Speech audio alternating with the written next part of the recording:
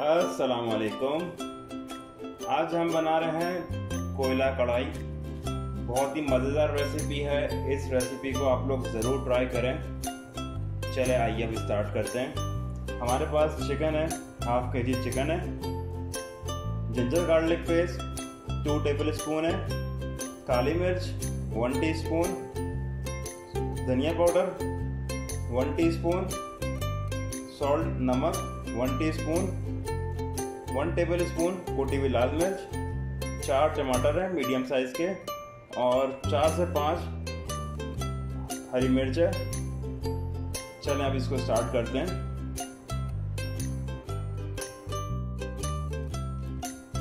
हमने half cup जो है ऑयल लिया है। इसमें चिकन को फ्राई करेंगे।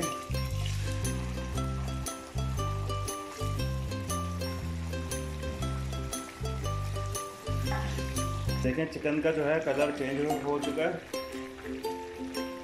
चिकन को हमने पाँच मिनट कुक किया है इसका कलर चेंज हो गया है। अब हम इसमें लहसुन अदरक का पेस्ट डालेंगे।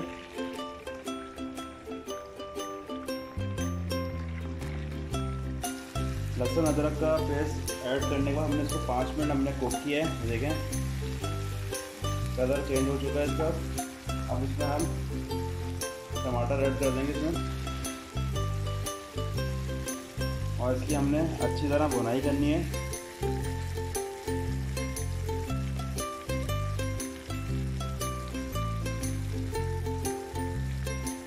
इसमें नमक ऐड करेंगे।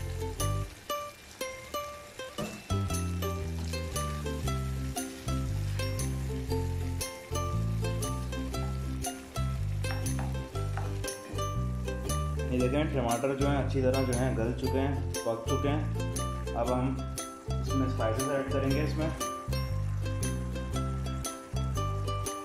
कुटी हुई लाल मिर्च।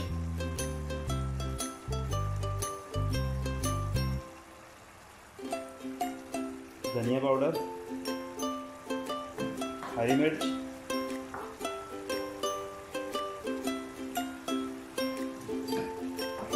अच्छी तरह मिक्स कर लें।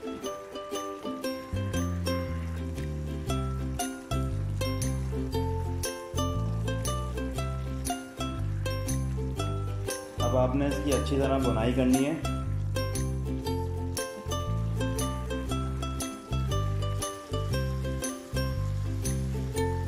इसकी बुनाई हमने जो है पाँच मिनट की है, इसकी बुनाई हमने। कलर माशाल्लाह कितना अच्छा आ चुका है। खुशबू भी बहुत अच्छी आ रही है। अब इसमें हम काली मिर्च ऊपर से ऐड करेंगे इसमें। और फ्लेवर के लिए कसूरी मेथी है।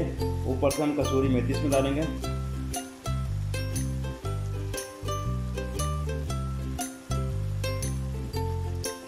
मिक्स करें।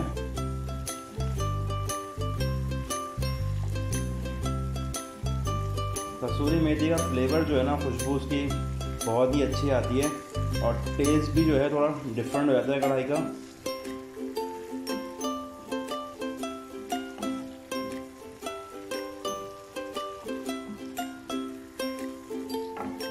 ये देखें कलर देखें, माशाल्लाह कितना अच्छा कलर आ चुका है इसका।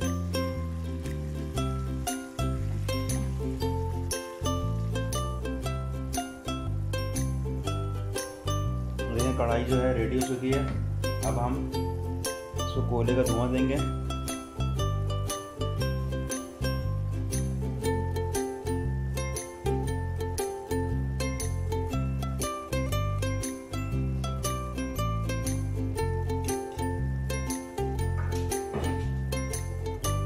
कवर कर दें आप।